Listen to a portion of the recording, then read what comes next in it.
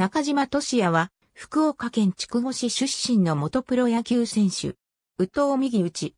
小学6年から野球を始める。福岡高大府高校に進学。2年時に4番一塁手として第79回全国高等学校野球選手権大会に出場。当時のエースは同学年の小倉晋介。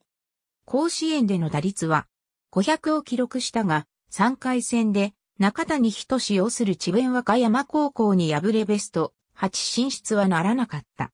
その後九州国際大学に進学し、公式野球部に所属。大学4年時の2002年に4番打者として、大学野球選手権大会ベスト8、明治神宮大会では、久保優也から決勝の先制的自打を放ち、ベスト4に進出した。大学の1学年後輩に、島村一樹、3学年後輩に、川島慶三がいる。2002年のドラフト会議で、オリックスブルーウェーブから8位指名を受けて入団。オリックスが2000年のドラフトから3年間採用していた契約金ゼロ選手として入団している。背番号は64。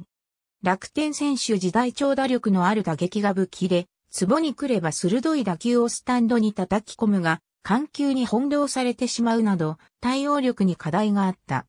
手首の強さが売りで、それに頼った強引な打撃をしていたが、2006年の秋季キャンプからの打撃フォーム改善により対応力が向上した。中島の構えは、バットのヘッドを投手側に傾けるという特徴的なものであったが、2008年の春季キャンプでさらに改良し、バットを立てて構えるようになった。左投手には滅法強く、左キラーとも呼ばれた。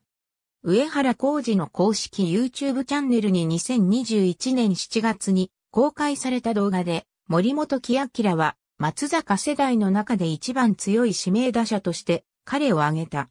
愛称のシャーパーは地元の学校でのシャープにコンパクトにという意味の掛け声から来ている。